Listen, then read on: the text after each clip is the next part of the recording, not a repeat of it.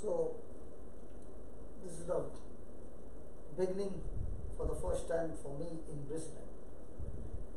And as we listen to God's word and understand His truths, Jesus said His truths sets us free. We all have different issues in life. Is that right? Yes. And we need answers for them. And might be some of those issues are stuck to us like a chewing gum for years. And how much we try to get rid of it, it sticks even more. Praise God. So today the Lord wants to teach us how we can, through His power and grace, transform our life. Amen. Amen. So before we go there, there is going to be questions, and those questions are not meant to judge you, condemn you, but to learn better. Is that okay? Yes. For example, how many of you believe your future is in God's hand? All of us. Now that's where we go wrong. I told you the truth will set you free. Now, if my future is in God's hand, that means God is responsible for everything that is happening in my life. If God was responsible, then God is responsible by which Adam's life got messed up in the Garden of Eden. Is it so? God created Adam. He gave him everything good. He even gave him a wife. And he told him, I do not want you to eat of this one tree which is mine. Hmm. The whole garden is yours. And that's love. He gave it to Adam and said, Just as I rule over the heavens, you shall have dominion over all things. And I will not interfere in your affairs. Just as I rule over the heavens, you shall rule over this earth. And I will give you the authority, I will give you the power. Now, was Adam enjoying the power? Yes. But when Satan came into the Garden of Eden, did he give Eve some information? Yes. Did he give Eve some knowledge? Yes. The knowledge and information that he spoke to Eve, was it aligning God's word or opposite to God's word? God said, if you eat this fruit, you will surely die. Satan said, if you eat this fruit, you will surely not die. In fact, you will become like God. So the information given was contradicting to God's word. And it looked like the knowledge was beautiful. And that's why Eve believed the knowledge that Satan gave, ate the fruit, and gave it to her husband. Now the husband had a choice. What choice did he take? Did he know what God said? Yes. Did he hear what his wife said? Yes. Whose word did he accept? Wife's. Even today, husbands, we accept.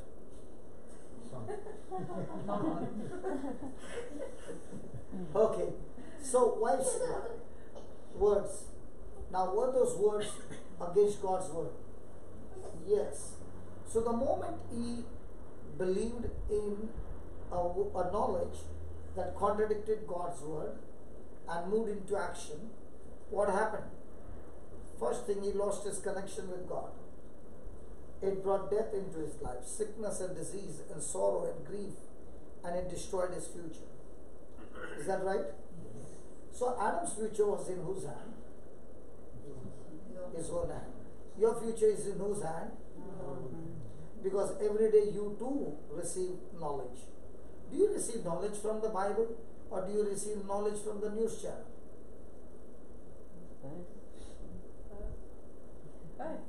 But Anyways, uh, we receive No, from both, we receive from both, but where do we spend more time? Our receiver is receiving which knowledge more?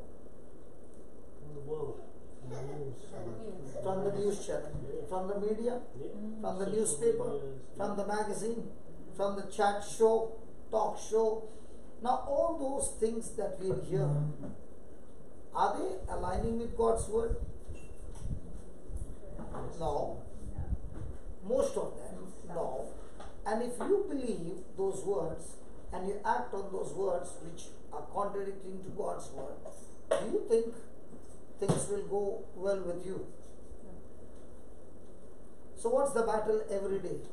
The battle every day is Satan trying his best to, to, to get his knowledge inside of you. And God also sending his prophets, sending his people, using the Bible study and all that to help people to change their thinking, receive the knowledge of God, and live by that word so that His power is manifested.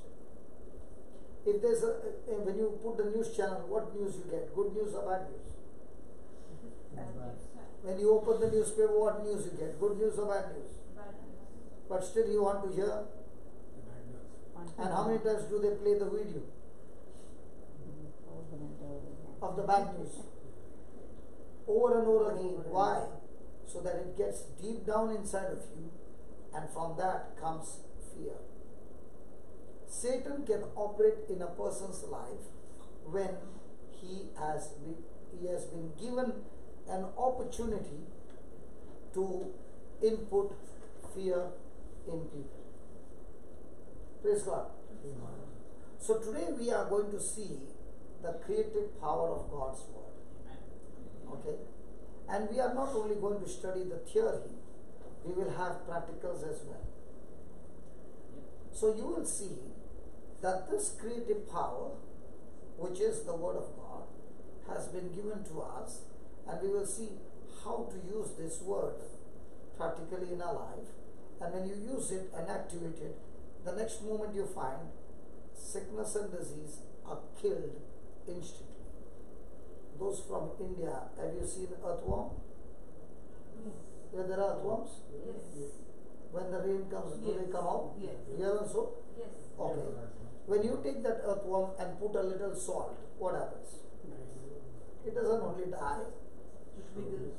Wherever it is put, that portion starts melting, it cuts the body, and the earthworm is suffering. Mm. In the same way, whatever situation you are going through, and you put the salt called the Word of God in that situation, that situation starts getting destroyed, and you get victory. Praise God. So, the first thing we will study today is what is the trap of Satan? Because Satan cannot attack us without a trap. He has got his tragic uh, strategies, he has got his deceiving plans. Okay? The first one that he uses is in Proverbs chapter 6, verse 2. Can you open the Bible? Isn't this wonderful? None of us are with the Bible. But we always say it is the knowledge of God that I receive every day.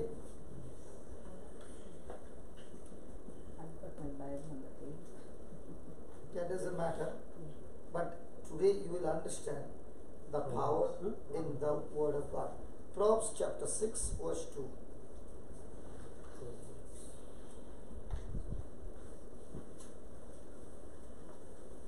Thou art snared Thou art snared with the words of your mouth, with the words of your mouth. You can also read. you are taken with the words of your mouth. So, thou art snared means thou trapped by the words of your mouth. Now, what is the meaning of the word snare?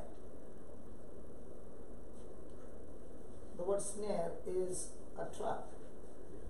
But the person who is getting involved in that trap doesn't know it is a trap. The person is ignorant.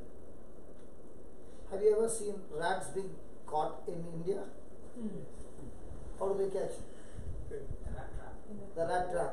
Do, do you need to put a bait? Yes. Or the rat comes and sits in the trap? No, you have to put a bait. Now, does the rat know that it's a bait? No. As soon as he opens his mouth to take a bite, he finds himself that the door is closed and he cannot come out. Mm-hmm. In the same way, God is saying, Satan has his trap, and the trap is in your mouth.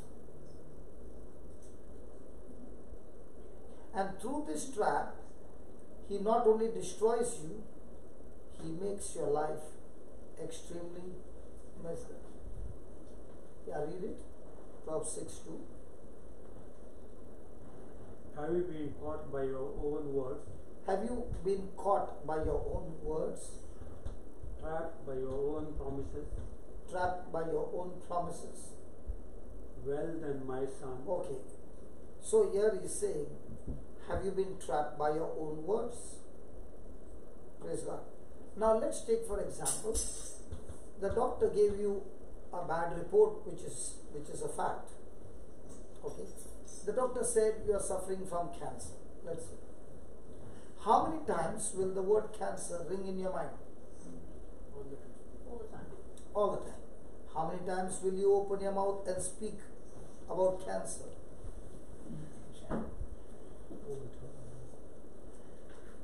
So, when a person has opened his mouth, accepted the report that is a fact, and opened his mouth and spoken that I got cancer, has that person spoken against God's word?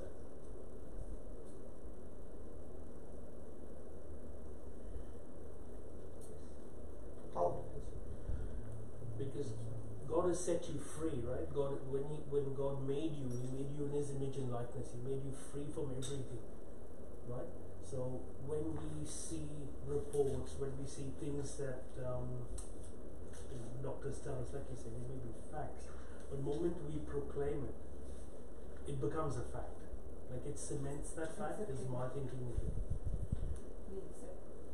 But isn't it I think the fact the is a shock fact. and isn't it the report saying one. what is really there? Mm, Yeah. So how does it go against God's word?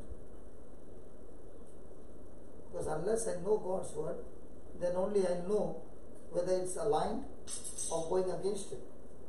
Now when you look at Jesus on the cross, the Bible says in 1 Peter 1.23 that his body was wounded, his body was wounded so that your body can be healed. Is that right? Yes. Wrong. He doesn't say in future tense. He says it in past tense. He said, by his wounds you mm. were healed. So God speaks everything in the new covenant in past tense. And we speak everything in future tense. I know that God will heal me of cancer. Now is are they both the same? God saying by his wounds you have been healed, and I'm saying, Lord, I know that one day you will heal me of cancer. Are they both same? When God says by my by his wounds you have been healed means cancer has been killed. Whereas you are saying, one day I know I will be healed. So what are you now? Suffering from cancer. So what's the trap?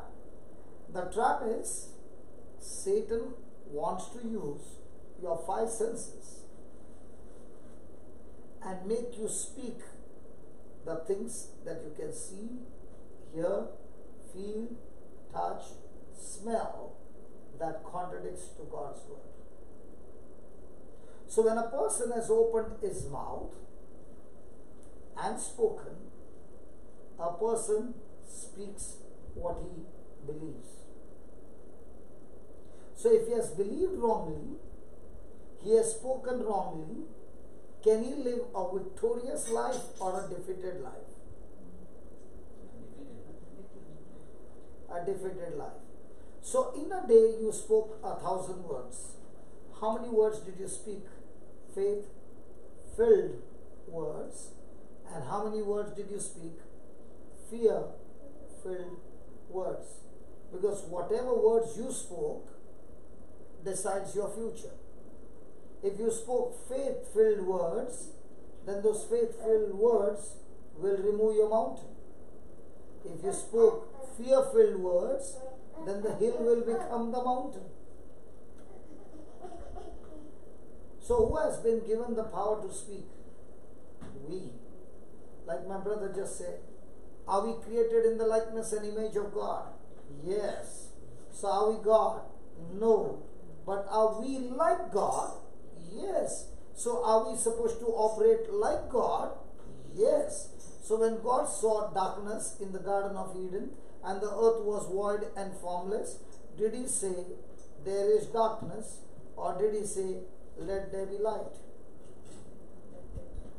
So God speaks faith filled words in every situation.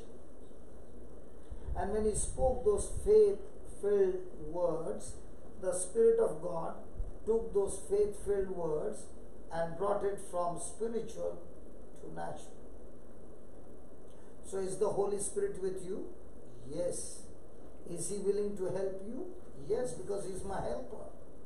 Can He help you? No. Why not? Because for the Spirit of God to operate in my life, He needs, according to the system, faith filled words coming out of my mouth. So if I'm not speaking faith filled words, but I'm speaking fear filled words, the Holy Spirit was supposed to help me. Can He help me? Because if He helps me, He goes against the system. So now, can the demonic spirits come and destroy me? Surely. Why? Well, that's what you spoke. So, words are spiritual things that become natural things. So, I spoke a spiritual thing according to 1 Peter 1.23. Lord, I thank you that by your wounds I have been healed. Now, did I speak faithful word? Yes. Did I speak in agreement to God's word? Yes. Did I believe my senses or did I believe the word of God? The word of God. Now, will that faithful word activate the Holy Spirit to get into action? 100%. So, what's my challenge as a Christian? My challenge as a Christian is not to read the Bible, study the Bible, use that Bible as a manual every day of my life, and now the battle is not how much can I get from God. The battle is how much can I teach my mind to agree, believe in what God's word said. Why do you think Christians live a defeated life even though they go to church every day? They go to church, they say their prayer, they read the Bible every day, but yet they live by sight and not by faith. A person who lives by faith is saying, I am convicted, I am sure, I am 100% confident that what God has promised me, I have received it. Do you have the evidence to believe? No, I do not have the evidence to see it or believe it, but yet I choose to believe it because it is written in the Word of God. Then it is called as faith. Example, do you believe somebody sitting next to you? You don't have to believe, you can see her. So you'll say, I know that she's sitting next to me. Now, do you believe there is somebody sitting in between you two? You'll say, No, because I can't see, nobody's there. But the Bible says, God has put his angels charge over you. Now, can you see the angels? No. But can you believe that there are angels? Yes. Why? Because the written word of God says so. Now I came to the gate. Okay? My brother wanted to open the gate. So he put some number, it did not work. What did he do? He called you. Gave him the code number.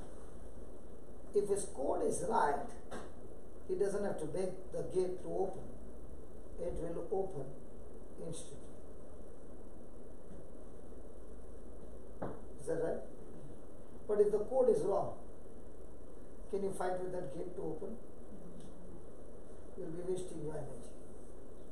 In the same way, the Lord is saying, get the right code from the Bible, open your mouth and speak it out, and believe what you're speaking.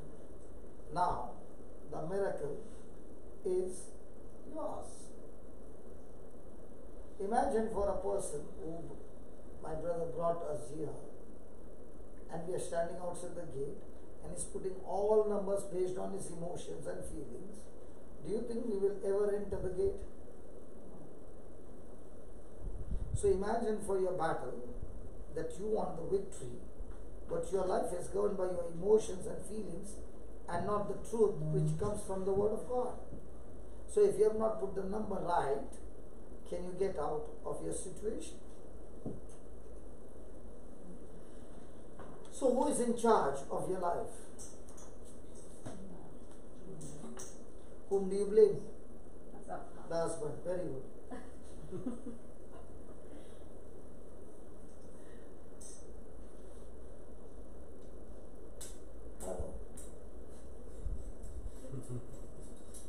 Today my life is messed up. It's all in trouble from the day I met. If that was true, if that was true, then Jesus' life should have been completely messed up and he should have been living a de- defeated life because what he went through, no human being can ever imagine to go through. Right? And yet, he won the battle. Why? Because no matter what happened, he did not allow his senses or his emotions to rule over his life, but he allowed his father's will to rule over his life. So every time he opened his mouth, he spoke the father's will and not his own will. He spoke his father's will and not what he what he felt. He aligned his thoughts, he aligned his words, he aligned his faith what God word says. So if Jesus had to align to God's word to get victory, what do we need to do?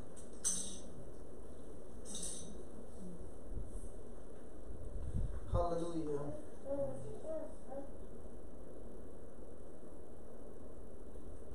So when a person is speaking what he's feeling, did he speak God's word or did he speak the words of the enemy? Emotion, emotions are. Yeah, whatever emotion, but when he speaks, did he speak the words of Jesus or did he speak the words of the enemy? So whichever fuel you put, that engine will run. Can you put diesel in a petrol engine? Will the car work? Can you put diesel in a petrol engine? The fuel has to be right. So if you belong to God, whose word you need to input? And which one are we inputting?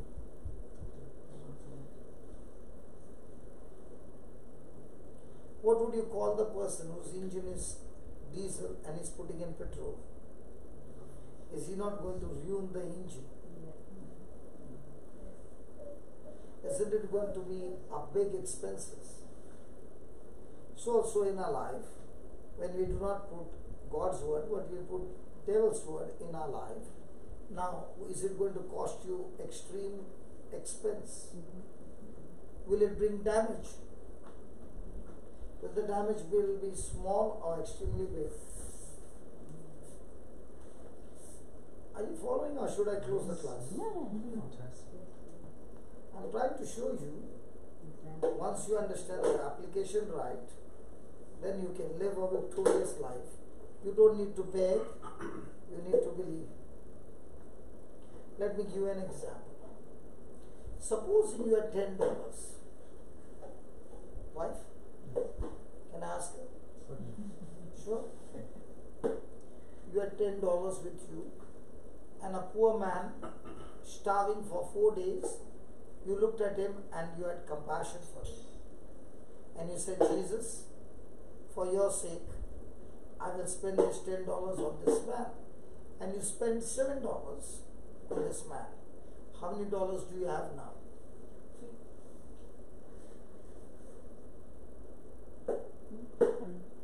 How many dollars will she have? She'll have three days. She spends at ten. Husband? And the ten dollars. Ten dollars, she spends seven. How many she will have? She'll have three. Three dollars. That was confident. Three. Three. Yeah, three. Now I'll ask Linus what he has to say. Linus, how many will have? Seven hundred. Ah, reckon. Why did you say yeah? Repaid, yeah, hundredfold. Huh? Been repaid a hundredfold. Now did we believe a hundredfold or did we believe three? If I looked at my wallet, it'd be three. Because our life is governed by the word. But when you, your actions or your opportunities there, do you take action based on what you learned in the world or did you take action based on what you heard in the Bible? Let's say you came to church and the, and the priest was teaching on sowing and reaping. And he said, according to Luke 6:38, when you give, it shall be given to you good measure, pressed down, shaken together. Shall men give unto your bosom?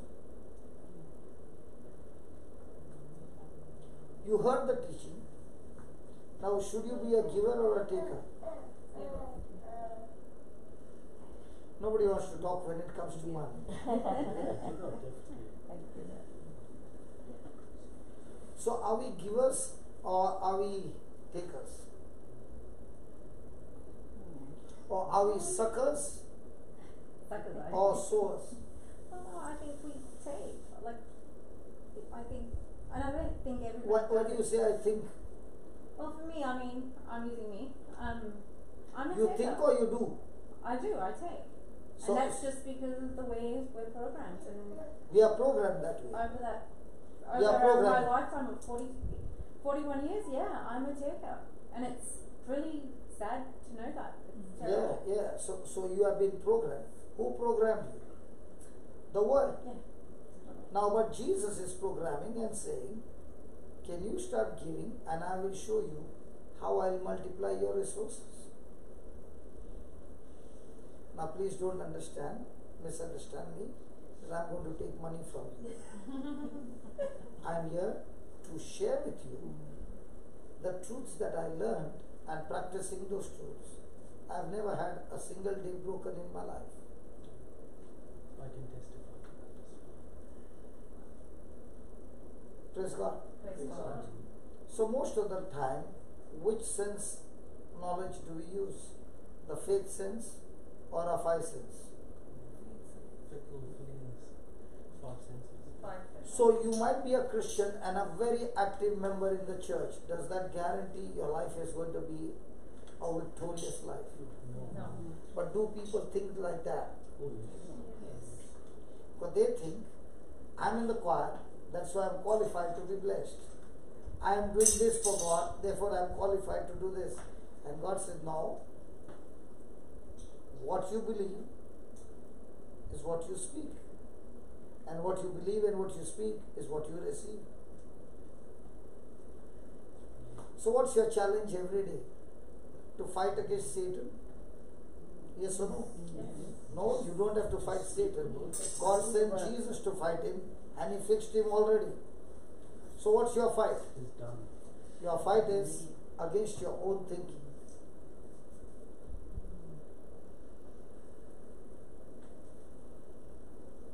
So speak words of victory, speak words of God's promise of, of what's being done in our lives is what the message I'm getting and I I hope I'm right is is speak the right words and you will get the reward because the reward's there for the taking but we don't know the right formula, we've not used the right formula in our lives, which is the word of God. We've not applied it to our situations and, and that's why we're struggling. And then we wonder why we're struggling as a Catholic. You say you go to church, you pray, you fast, you do all these things, but you don't get So the then the life is miserable. Exactly, and so So now you you have a credit card Yeah. and in your account there are say one million dollars and you want ten From thousand. to God's ears, but yes, okay. Okay. And you have, you want to get ten thousand dollars. Okay. Will you go to the manager and beg him or will you sign a check? Will you go to the manager and say, Give me the money, please, it's my money? Or will you sign the document and take what is yours? It's your authorized to, just sign a check because you got the money, right? So, do you need to beg? No? In the same way, when you come to God, does He want you to beg or believe what His system? The Son of God. Believe the system. So, instead of believing His system, what are we doing? begging, I just saw some papayas raw. Did you plant a seed? Yes. When you planted the seed, could you see those big papayas? No. Could you see the leaves No. or the tree? All that you saw was a seed. But was there potential in that seed? Now, can that seed multiply into more trees of papayas? Yes. Yes. So, in the same way, when you are opening your mouth and speaking words, are those seeds? Yes. So, what kind of seeds are you planting every day? Filled with faith, then your destination is going to be vict- victory. Filled with fear and worry, then your destination is going to be sickness, disease, and death.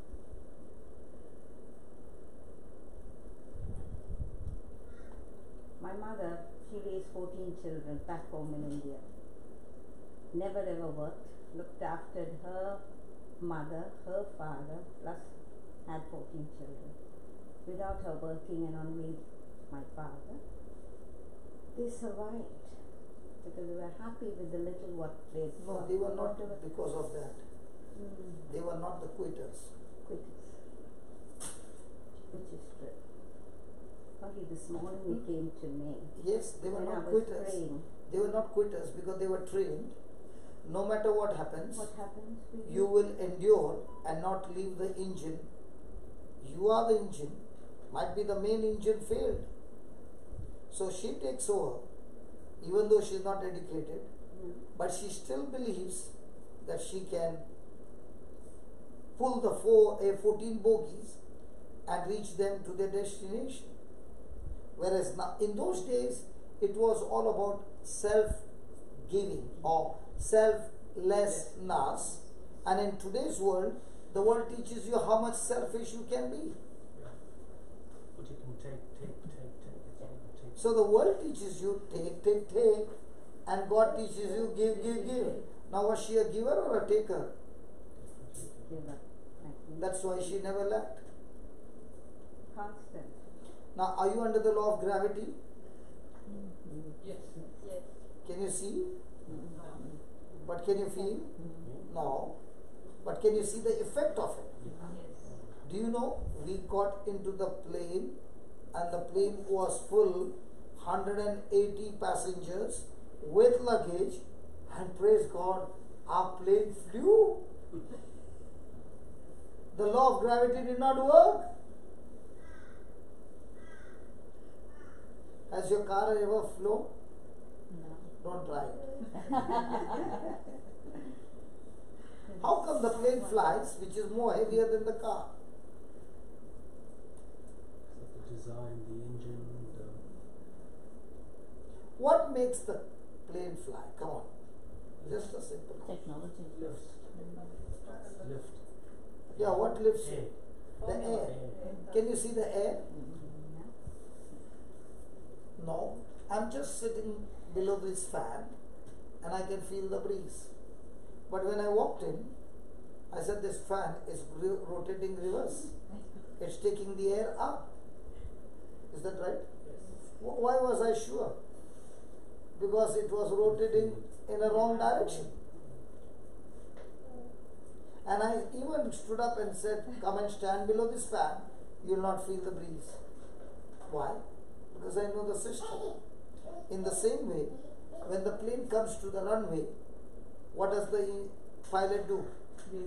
He accelerates it at a speed of 350 kilometers per hour. At that speed, what happens to the air? This fan is just rotating at very low speed, and still I can feel the breeze on my feet. What happens at that speed? At that speed, on the wings, it's like a storm. So, has the pilot, when he's flying, depending on his feeling or on the gauges?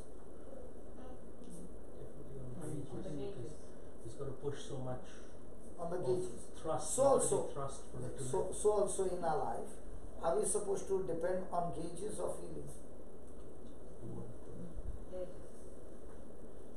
But is our life based on gauges or feelings? That's why we destroy our lives. What about the pilot going 30,000 feet above sea level and then he says, I'm so high, so let me shut off the engine. When he shuts off the engine, the gravity starts working, right? Yeah. No, the gravity is all the time working. It is never shut off. But his engines are firing and overcoming gravity. In the same way, the power to pull you down is always there. But when you open your mouth and fire your engine with God's word, you are overcoming the power of destruction and flying on high.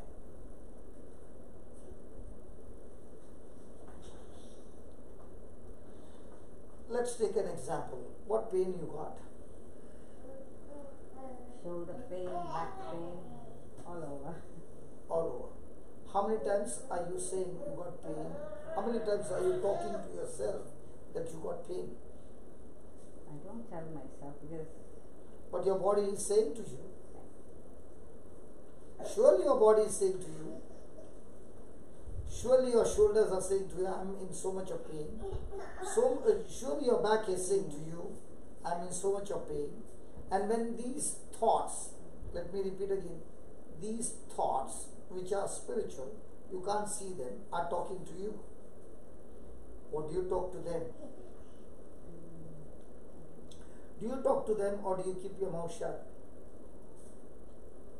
You keep your mouth shut, and because you keep your mouth shut, you have not fought back, and those thoughts have, re- have creeped into your system, and now they are controlling you.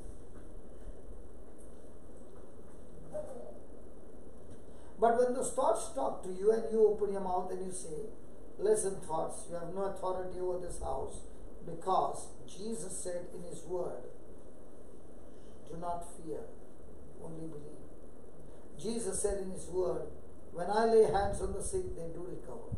So here I am, laying my hands on myself and proclaiming, I'm completely healed. Now, is the pilot accelerating the the flight? Is the pilot on the runway? Yeah. How do you know he's on the runway? Because he's speaking faithful words. But what about the pilot who is speaking all the time worry? Is he on the runway? Yeah. But is the flight going at a high speed? No. Extremely slow. Will that flight ever take off? Will it go and crash? Anybody married here? Only you two. Only you two. Those who married. Why are you uh, telling him? No, no, I'm just saying he's married too. So. But he doesn't know. That's what he never said anything. I was, hey, Joe, you don't know. yeah. Praise God. Now we who are married, okay, do we have difference of opinion between our spouse? I'm. Okay. So when there is a difference of opinion, which one do you accept? What you are saying, what he is saying, or what the word of God is saying? Let's be honest.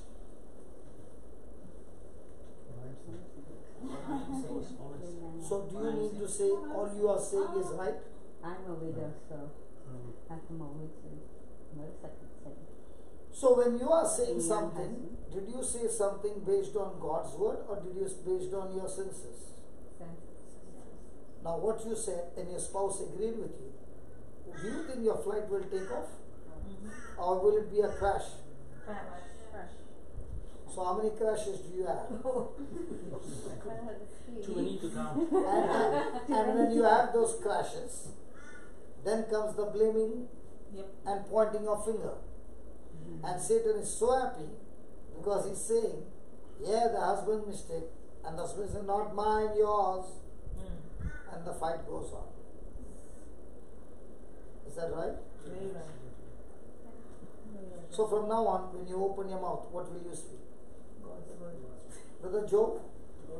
And if the husband doesn't listen, The Bible says you have to listen to your husband. The wives have to be submissive, isn't it? Yeah. That's what he tells me, brother. Okay, okay, okay. You tell him. I don't. You tell him you read only the first part. The second part is husbands be ready to die for your wife like Christ died for the church. So ask him when is he willing to die? When is he willing to take the punishment of his wife in his body to set her free? Christ and for us. He's saying, when I came this morning, brother, there was so much of peace in my mind. Now you're you're giving me gun with the bullets. so when I go back home, hallelujah. Thank you, Jesus. Is it about who wins No. or who, who is at the steering wheel or is the word on the steering wheel? Word should be understood from the outside. So did we understand up till here? Yes. So most of the time, every day, are we under the trap or are we free? Even though you are a Christian, even though you got Holy Spirit, oh, even though you go to church every day, does any of those things qualify you? No. They are meant to help you to change your thinking, but they never qualify you to get the result. What qualifies is your ultimate decision. So, is Christian life a bingo game or a table tennis game?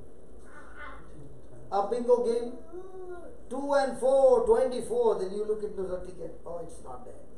4 and 2, 42, not there. Is that the game or is it the table tennis game? Now, when you see, have you ever played table tennis? Okay. When you first took the racket in your hand, did the ball remain on the table? No. But with practice, were you able to win some games? Yes. What about the person you see on TV playing table tennis? Yep. Professional. professionals, yeah. Mm-hmm. By me. You can barely see the ball. Mm-hmm. Yes. But how many hours did they put in to master that game?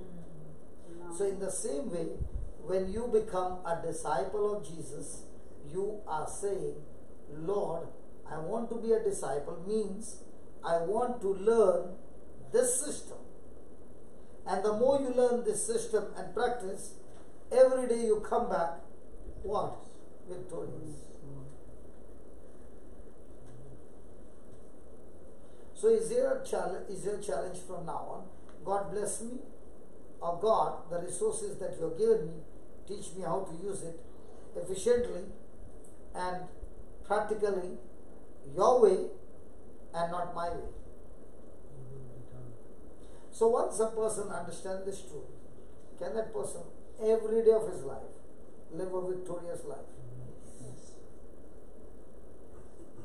So is it a luck game?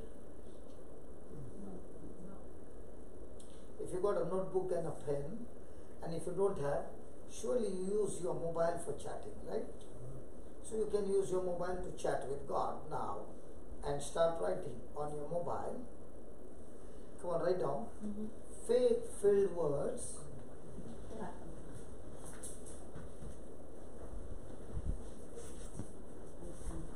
Faith filled words will put me over.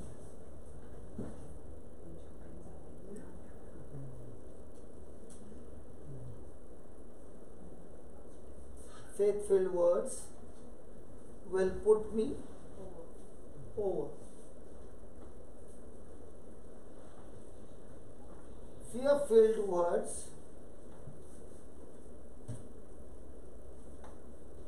will defeat me.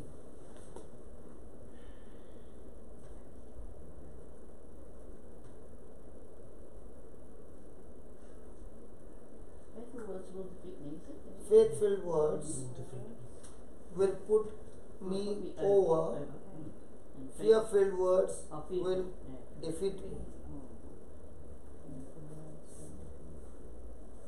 Okay, let's see the trap. Okay, are you ready? See, my job is not to trap you, but show you how the trap is. Okay? Now, the prophet Joel, God spoke to him in chapter 3, verse 10. Joel 3:10. The Lord said, Beat your plowshares into swords, and your pruning hooks into spear. Now let the weak say, I am strong. Now were the Israelites champions in battles? No. They had journeyed through the promised land and they had never ever seen a tribe fought a battle. And now comes a problem that the enemy is coming and destroying them all the time. So God tells Joel the prophet, I'll show you a system. When you open your mouth and speak what you desire, then the Holy Spirit will bring those desires to pass. So, what were they saying? When a person is weak, what does he say? Strong. No, you should be saying I'm strong, but yeah, we, What does he say? I'm weak. When a person is sick, what does he say? I'm sick. When a person is broken, what does he say? broken. So he says what he sees and feels. But what is the word of God saying? Let the poor say.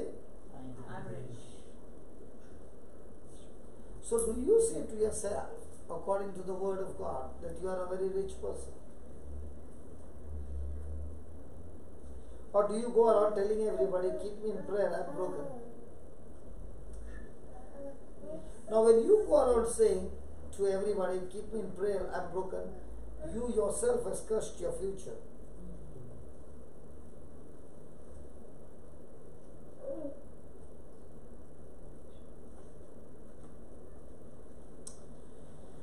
Praise God. So, are we getting somewhere? Yes. Are we understanding our mistakes? Yes. So that white book that is there, it is is it a prayer book? No. It is a book with scriptures and promises that you can pick up, open your mouth, speak it, believe it, and you shall see it. It's the formula, it's the formula. Yeah, it's a formula. We just got to apply it to our lives. Because there's one thing that, that's in my personal journey that's, that's always resonated with me. It's because when the Lord died, the last thing He says was done. It's done. The price is paid, and we keep. It is trying to- finished. it is finished. I mean, and, but we still struggle in life. I mean, He's saying, "Yeah, I, I won the battle. Why are you guys still struggling?" And, and like He said, media, TV, television, they all tell us, even our own friends, our own thoughts tell us, oh, you're broken, you're still suffering, you're still, you know, we have won the battle. I mean, uh, that's that's that's what I've struggled with li- in life anyway. So it's making a lot of sense. Thank you for that. So from now on, are you going to speak your problem or are you going to speak to the problem? Speak the problem. To the problem. Are you going to tell everybody, keep me in prayer, I'm going through this problem? Or are you going to tell everybody, I finished with the problem? It's Now, isn't it that I'm teaching you how to tell lies? Because I've seen my niece is Tanya Rosario, I'm sure you know her. And right through her illness, I am healed. And she has taught me so much through her illness that she never ever said, I'm, if I kissed her, Auntie, don't weep for me because I'm healed.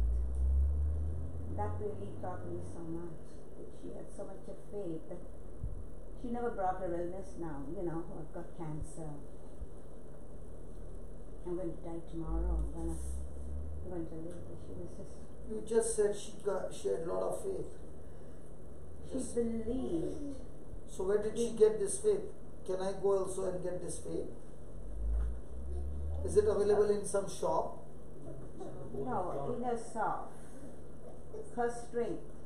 Inner strength. So how does a person get strength and faith? Believing in God and herself.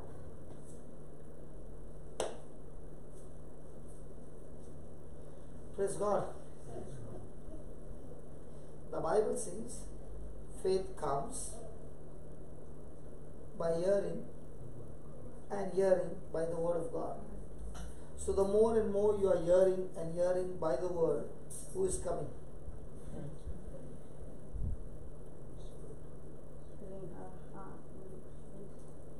Praise God. So am I a farmer who is growing faith or am I a farmer who is destroying faith?